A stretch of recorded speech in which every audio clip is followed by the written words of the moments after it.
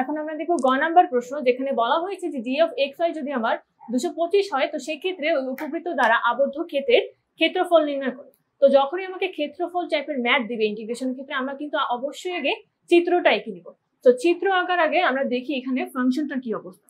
এখান থেকে লেখা যায় নাইন এক্স স্কোয়ার যেহেতু জি অফ এক্স আমাকে উদ্দীপকে দেওয়া আছে nine x square plus twenty five y square is equals to আমার টু টোয়েন্টি ফাইভ বা এখান থেকে লেখা যেতে পারে যে x square divided by five square plus y square divided by three square is equals to আমার ওয়ান বা এখন যদি আমি এখান থেকে চিত্রটা আঁকি, চিত্রটা আমার কেমন হচ্ছে উপবৃত্তে?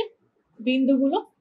আচ্ছা এই বিন্দুটা কত হবে? এখানে y by three y square by three square আছে, তো এই বিন্দুটা হচ্ছে আমার জিরো থ্রি আর এই বিন্দুটা হচ্ছে হচ্ছে আমার ফাইভ জিরো ঠিক আছে?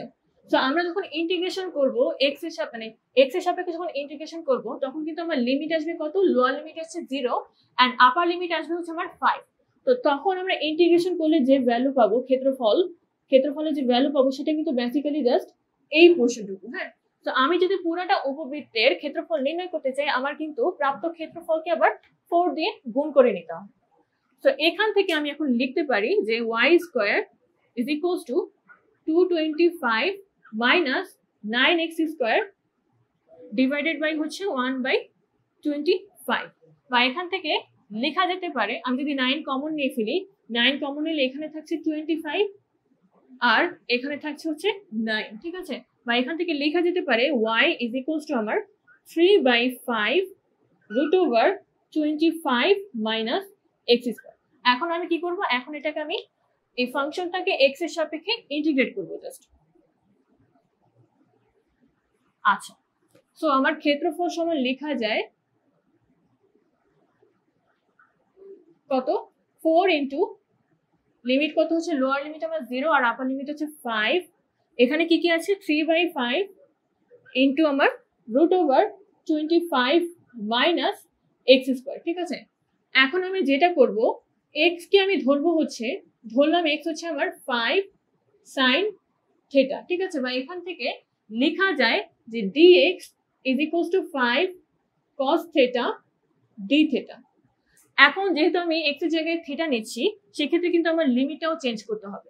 এক্স যদি আমার জিরো হয় এক্স যদি জিরো হয়, সেক্ষেত্রে থিটা আসছে হচ্ছে জিরো আর এক্স যদি আমার ফাইভ হয়, সেক্ষেত্রে কিন্তু থিটা আসবে আমার পাই বাই টু তো এখান থেকে আমি লিখতে পারি, এই কনস্ট্যান্ট আমি বাইরে নিয়ে নিলাম, তাহলে কত থাকছে আমার? বারো বাই পাঁচ টোয়েন্টি ফাইভ মাইনাস এক্স কত আমার? আচ্ছা twenty five cos square theta আর এদিকে কি থাকছে? Sorry twenty five sine square theta sine square theta আর এদিকে থাকছে হচ্ছে five cos theta d theta বা এখান থেকে লেখা যায়, আমি যদি ফাইভটা কমন নিয়ে নিই এখান থেকে, তাহলে এখানে কি থাকছে আমার? সরি টোয়েন্টি ফাইভ যদি আমি কমন নিয়ে নিই, তো এখানে থাকছে আমার ওয়ান আর এদিকে থাকছে সাইন স্কোয়ার থিটা ঠিক আছে?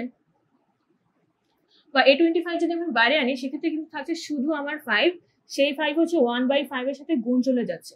আর এদিকে আরও একটা পাঁচ ছিল, তো সেটা আমি একবার লিখতে পারি, পাঁচ বারো আমার ষাট one minus sine square theta কত? বেসিক্যালি হচ্ছে কস স্কোয়ার থিটা বা ওটাকে আমরা একবারে লিখতে পারি যে cos theta cos theta into cos theta d theta that is cos square theta d theta এখানে ইন্টিগ্রেশন সাইন ছিল। আচ্ছা ইন্টিগ্রেশন সাইনটা বাদ পড়ে গেছে। পাই বাই টু হচ্ছে আমার আপার লিমিট আর লোয়ার লিমিট কত? জিরো জিরো আর পাই বাই টু এখন এখান থেকে আমরা লিখতে পারি thirty into zero pi by two limit দিলাম two cos square theta two cos square theta d theta বা এখান থেকে এখন লেখা যেতে পারে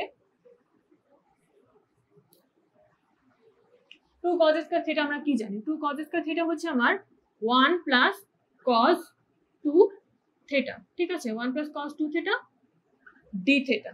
আর লিমিট কি কি আছে আমার? লিমিট আছে হচ্ছে pi by two and zero. বা এখান থেকে লেখা যেতে পারে, আমি যদি এখন এইটাকে, এই পুরাটুকু যদি আমি ইন্টিগ্রেট করি সিম্পলি কিন্তু আমার চলে আসবে। কি চলে আসবে? যদি আমি ওয়ানকে ইন্টিগ্রেট করি, সেক্ষেত্রে থাকছে আমার শুধু থেটা। শুধু থাকছে থেটা।